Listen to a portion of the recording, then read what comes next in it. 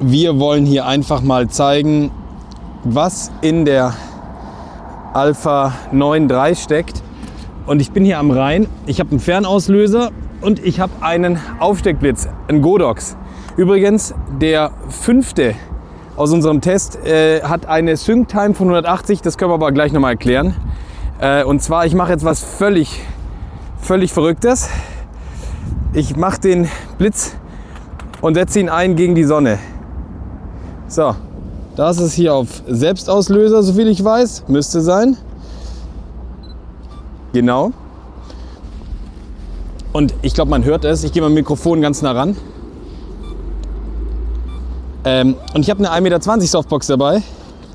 Und wir werden hier nicht nur mit dem Aufsteckblitz gegen die Sonne mit einer Alpha 9.3 machen, sondern wir werden kurz mal ein Selfie machen ohne Hilfe. Perfekt eingestellt. Olli, du kannst leider nicht dran mit, den, mit der Kamera. Das heißt, die Werte zeigen, die wirst du nicht sehen, aber wir werden ja nachher vielleicht das einblenden können. Und man muss mir einfach auch mal glauben, dass ich jetzt hier gerade wirklich alles sozusagen live mache. Ich habe nur einen Aufsteckblitz, keine andere, keine andere Lichtquelle.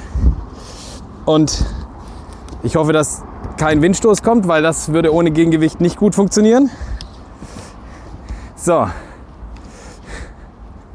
Wir machen folgendes und zwar, ich würde es jetzt gerne ein bisschen höher fahren, aber ich lasse den mal hier, nehme den Fernauslöser, mache mir mal ganz kurz, ah Olli, stell dich mal du kurz da, wir machen eine Testaufnahme, damit ich ungefähr weiß, bis nach da.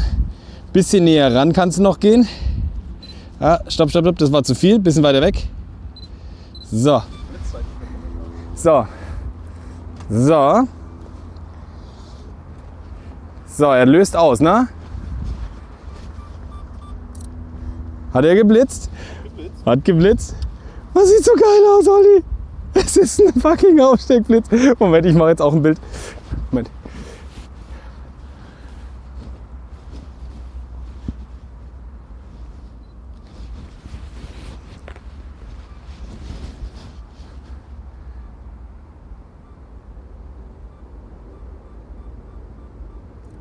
Wir sind bei ein 32.000stel, Olli.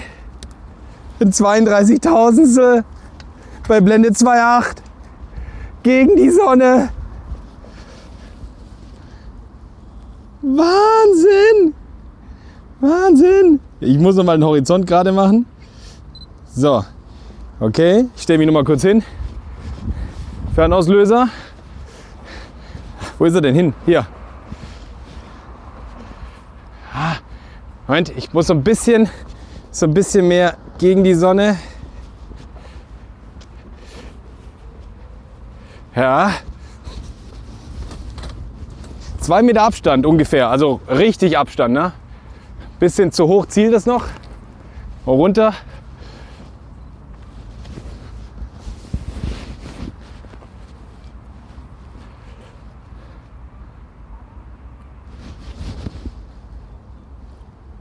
Geil. Oh, Dolly. Ich, ich, ich glaube, man kann es nicht hier in der prallen Sonne sehen, aber es ist einfach mal krass belichtet. Und weißt du was? Guck mal, vielleicht sieht man es hier. Ich bin noch auf halber Leistung. Ich weiß nicht, ob du das siehst. Sieht man es? Nee, so da kannst du, glaube ich, nicht nah an Grenze ran. Aber, aber, aber es ist halbe Leistung. Es ist halbe Leistung. Es ist halbe Leistung. Die gehen noch mal kurz hin. Ich mache auch noch mal ein Bild für dich. Ey, es ist. Ja, okay. Moment. Beinwechsel, Olli. Ja, okay. Guck trotzdem ins Licht. Ja, perfekt.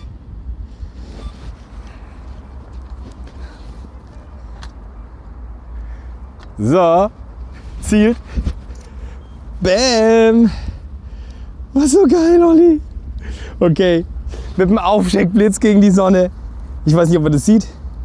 Ich gehe jetzt mal auf den 51, auf den 64.000. Komm, wir machen keine halben Sachen. Olli, ein letztes Mal. Mal sehen, wie das rauskommt. Ey, das, sieht man das von der Seite, dass das, also dass ich zwei Meter, dass ich zwei Meter weg bin?